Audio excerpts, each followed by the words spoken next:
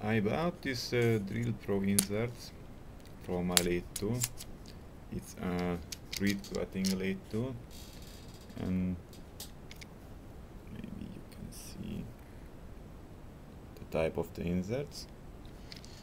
They are AG60 inserts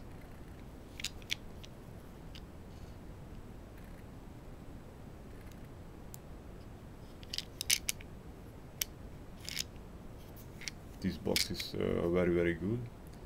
Uh, I bought a couple of inserts from Banggood and uh, some of the inserts came in such boxes they opened them from itself. this box is a really good one because you need a little bit of force to open it but you don't need a lot of force uh, and they are protecting inserts very very good and uh, I bought this type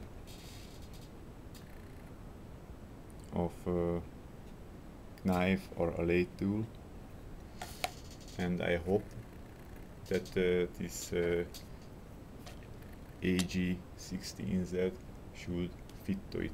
Description says that uh, this type of insert is uh, is good for this tool but uh, you have to try it.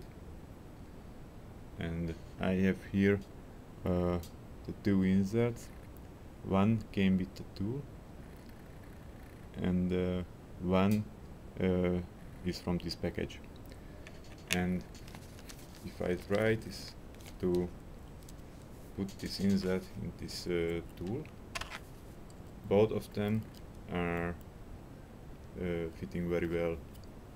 I think uh, this is the insert that came with the tool and this is I have bought recently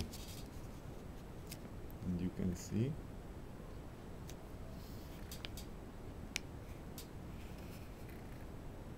that is a perfect fit.